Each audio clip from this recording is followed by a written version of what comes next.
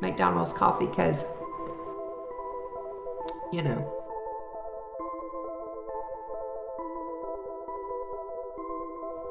Hi, I'm Kim. Welcome back to my channel. If you've been here before, welcome back. If you have not, welcome. Um, today I'm going to tell you another paranormal story, a story from the house that I lived in in Florida. Um, like I've told you before, I have many, many stories from that house, and this is just one of them. Actually, I'm going to tell you three short ones uh, because they all happened in the same time frame, same time period, a few weeks. Uh, so the first one I'm going to tell. Um, one night I was over at my best friend's house, and I had told her some of the things that had been going on in the house, you know and she had not experienced him for herself. It's not that she didn't believe me, it's just that she kind of just blew him off or, you know, just didn't pay much attention to him. And uh, she just listened to me talk about him. Well, um, one night I was over at her house and we were talking and I decided to call my phone, my house phone. Now this this was back when you still had house phones and you could dial your number and as soon as your answering machine picked up, you could press some numbers and you could listen to your messages. Well, I had just started dating this guy, so I wanted to call the house and hear my messages. So I dialed my number. This is at her house, mind you. Um, dialed my number and somebody answered and it sounded like an elderly lady. She said hello, and I hung up because I thought, well, I dialed the wrong number. So I dialed it again. And again, an elderly lady, what sounded like an elderly lady, answered. and I said, what number am I dialing? I'm, I'm trying to reach my, you know, my, my home and I keep dialing the wrong number. What number is this? And she hung up. So I, I said, okay. So I dialed it again. And once again, she answered. And she hung up. So I said to my friend, let's call her Penny. Let's say Penny. So I said, Penny, can you call my house and, you know, see if I'm dialing the right number or the wrong number? But somebody keeps answering the phone in my house and I know there's nobody there. So she called my house. Sure enough, a elderly lady answered. And Penny says, who is this? They hung up. Uh, Penny hung up. She called back again. Once again, elderly lady answered. So she looked at me and she said, somebody is in your house. And she says, get in the car. Well, Penny was a don't take no crap kind of girl. Um, so we piled in the car and off we went all the way across town to my house. Well, when we pulled up in the driveway, of course, nobody was there, you know, and um, walked in the house, the house was dark, I hadn't left any lights on. House was dark, nobody was there. And I know that I know that I know, and she knows that she knows that she knows that somebody answered that phone. Um, and so that was, that wasn't really scary. Well, it was scary at the time. Um, however, we never figured out what that was, but we do know that somebody answered my phone. So that's one story. The next story, uh, let's see. I've got two in mind, but I don't know which one to tell next. Okay, I'm gonna go ahead and tell you this one. I had just started dating this guy. Well, not just started. We had been dating probably four or five months. And um, let's call him Evan. Let's call him Evan. So um, Evan knew about some of the things that would go on in the house. And he had spent the night there the night before for some reason. I can't remember why. But anyway, he was there. Well, we had gotten into an argument the night before.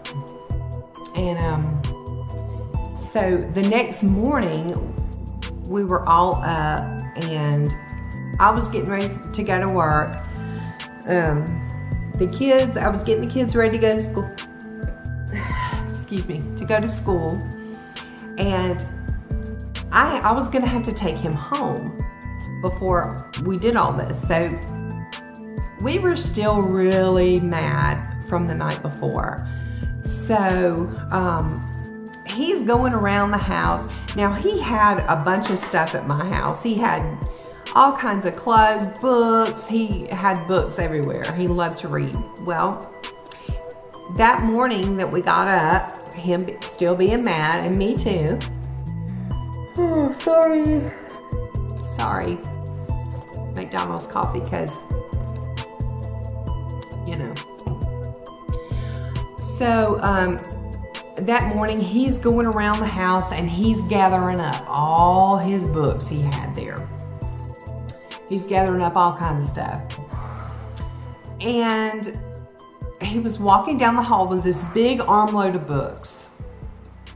And he was going to take them to the car. God, what's wrong with me? He was going to take them to the car.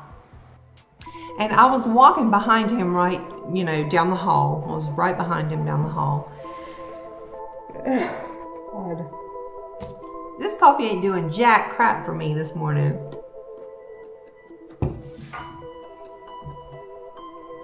So the whole time he's walking down the hall with this arm full of stuff, I'm saying, you, my mouth, I've got a mouth and it runs constantly. And so I was saying to him the whole time he's walking down the hall, you better get everything because you're not coming back. So he, when we get to, we go down the hall and when we get to the living room, he takes a right to go out the door and I go straight into the kitchen. Oh God. I don't know why I'm so sleepy, but I am. Um, so he takes a right to go out the door and I go straight into the kitchen. Um, and as I'm walking into the kitchen, I open up the refrigerator and I hear this big loud it's, it's funny now, but it wasn't then. I hear this big loud crash. And I peek my head around the corner and the door's wide open Oh God. I am so tired. I need some coffee grounds. I could straight up eat some coffee grounds right now. So I'm looking and I can see down the steps of the house and he is laying at the bottom of the steps outside with books everywhere. And I walk to the door and I look at him like, what are you doing? He goes, he had the most horrified look on his face, the most disgusted look on his face. And he's like, why did you do that? And I said, do what? He said, why did you push me out the door? And I knew I hadn't. So I said, I didn't push you out the door. He swore up and down I pushed him out that door. But I was in the kitchen. And the kids were still in their bedrooms. So um, from that day on, we broke up for about a month, but oh God. I am so sorry. I am yawning like crazy. But um, from that day on, he would not go in my house without me being there. I mean, he, he just wouldn't. Because sometimes before that happened, he would, uh, he had a key. And sometimes he would be there when I came home from work, you know, just to help me with dinner with the kids or whatever. But from that day on, he would not come back to that house. So that's another story. Uh, let's see. I, God, I've got so many stories. It's not even funny. Okay.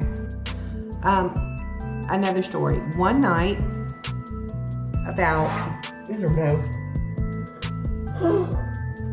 Jesus. Oh my God. I can't quit yawning. I'm so sorry.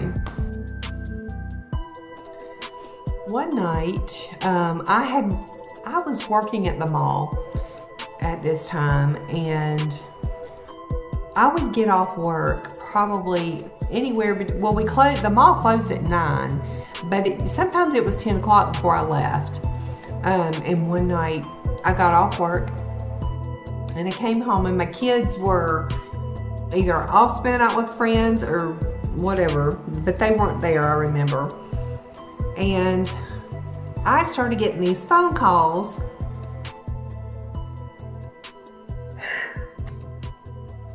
This is ridiculous. I am so sorry.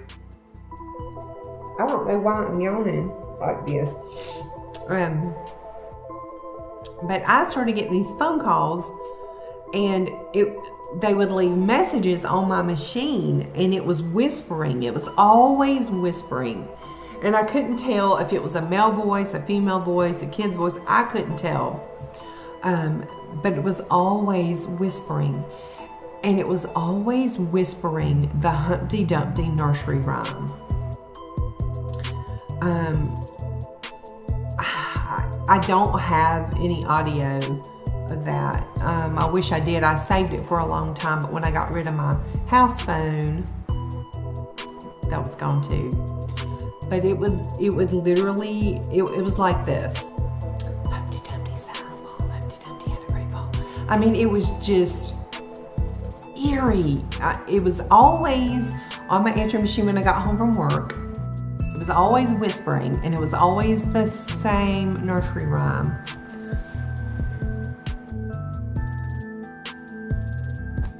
This is beyond ridiculous. I'm sorry.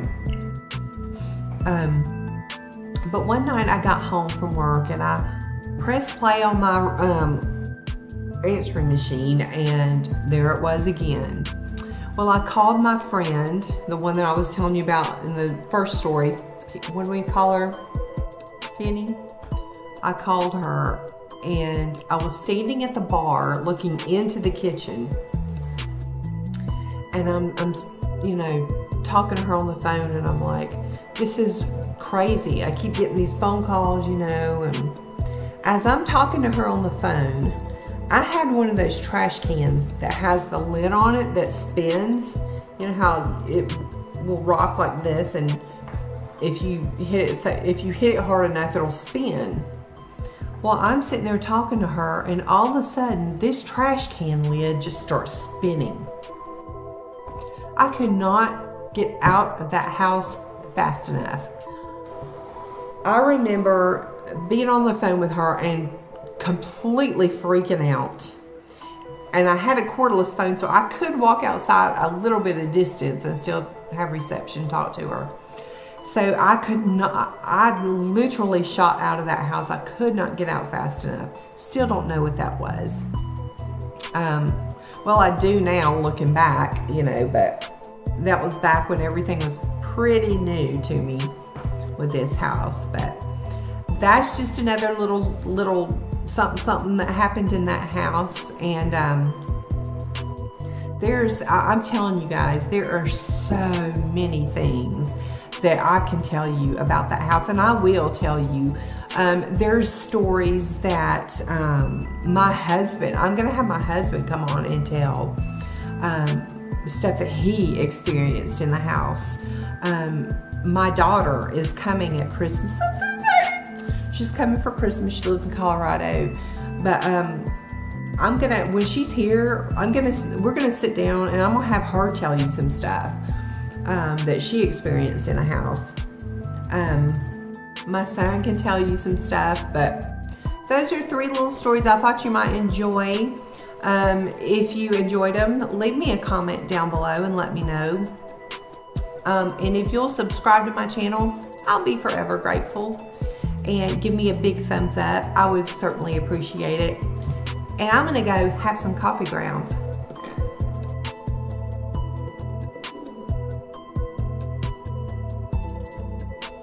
McDonald's, you ain't cutting it this morning.